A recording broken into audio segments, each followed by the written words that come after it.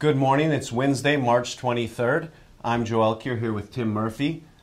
Welcome back to the Gold Spot.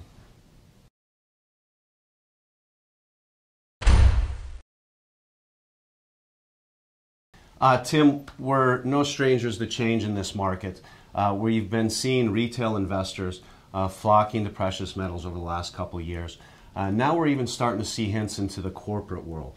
Uh, you've got some forward-thinking CEOs, uh, Peter Thiel of uh, Palantir Technologies. Uh, end of last year, they bought $51 million of physical gold. just last week, we had Adam Aron of AMC. they took a 25% stake in Hycroft Mining, gold and silver mines.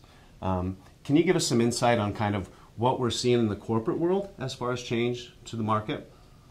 Well, yeah, Joe. It's uh, not just, not just the corporate world, but the, the, the international world, the central banks. It's, it's, no secret that central banks have been buying physical gold for years, but now they're at, at record levels. In the last 50 years, they, have never owned so much gold as they do right now. And and you know we know China has been buying uh, gold for for many many years, and and uh, India and, and Russia, you know, jumped on board years ago. And as, as a matter of fact, Russia has more gold reserves than they do dollar reserves right now, which is which is for the first time that's ever happened. So it's a it's a real sign that the, the demand is there at that at that big level. And now you've got the smaller uh, central banks jumping in, uh, Thailand and Turkey and, and Poland and Hungary. And when they, when Hungary was asked, the central bank of Hungary was asked why they're buying so much gold. They said they just look around the world and and they're uh, they're worried and they're balancing their the uh, their portfolio. It's just you know simple as that. So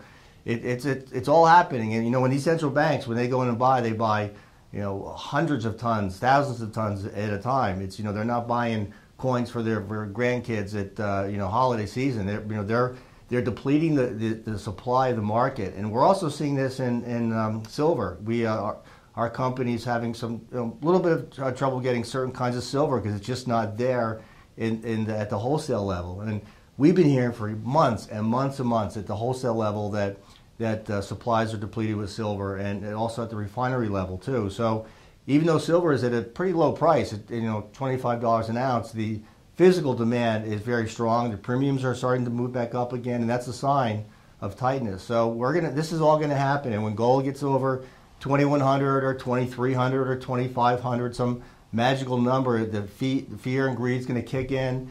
Everyone's going to want gold. Everyone's going to want silver. But there's a chance it might not be available to be had. So, you know, there's, there's besides reasons of, of supply and demand, also higher prices. These are all great reasons to be looking at things right now and you know taking a, a serious stand.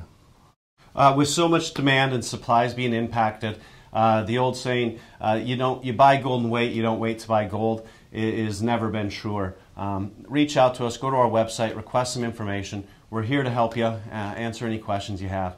Thanks for stopping by. We'll see you next week.